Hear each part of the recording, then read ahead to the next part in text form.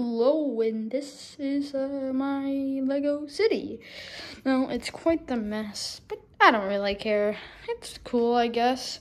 So we got an airport right there. Got Hogwarts.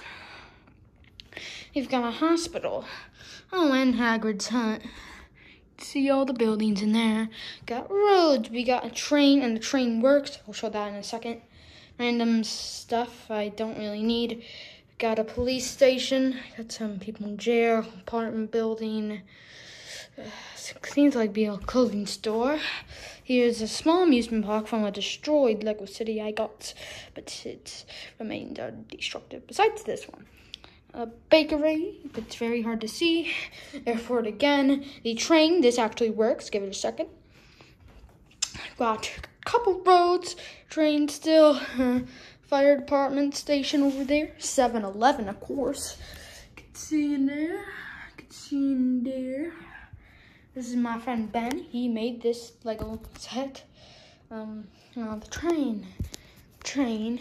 Um, if we just, and if you have one yourself, well, that's cool. But if you just take the remote here, and then, and then, right, and then we're just gonna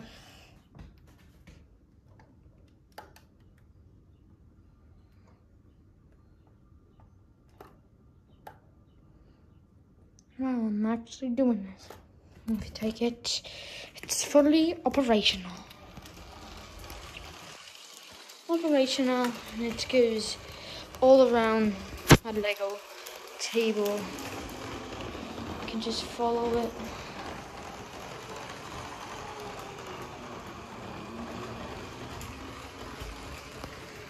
And that is my Lego town. I hope you like it. Subscribe, and I hope you seriously liked it. Subscribe for more. I think.